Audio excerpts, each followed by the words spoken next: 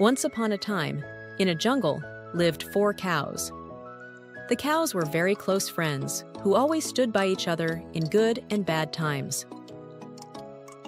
Whenever a wild animal tried to attack them, all four cows used to fight together and chase them away. Therefore, no animal in the dense jungle dared to attack the four cows. But there also lived a big lion in that jungle who wished to kill and eat the four cows. He tried several times to attack and kill them. But as always, all four cows fight together and chased him away. The lion understood that it was not possible for him to kill even one cow till they were united. So the lion started thinking of different ways to separate them. Finally, he came up with a devious plan. He started spreading rumors and telling false tales in the jungle about the cows. With the help of other animals in the jungle, the lion was soon able to pitch the cows against one another a huge rift was created between the four cows, and they started detesting each other.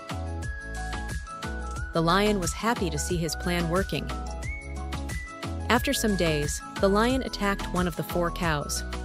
The other three cows did not come to help their former friend, even after watching that she was being attacked by the big lion.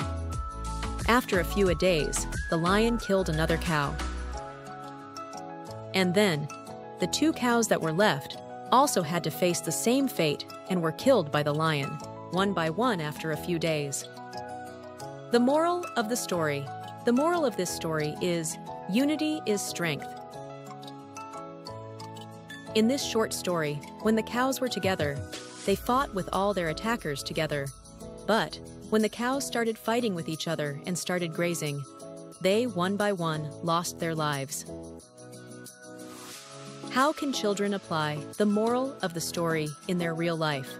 With the help of the story with pictures, it is clear that when we are united, no one will be able to harm or do anything to us.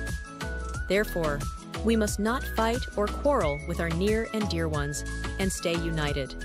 When we are united, we will be able to face all the difficulties of the world together and will also be able to solve difficult problems with the help of our good friends.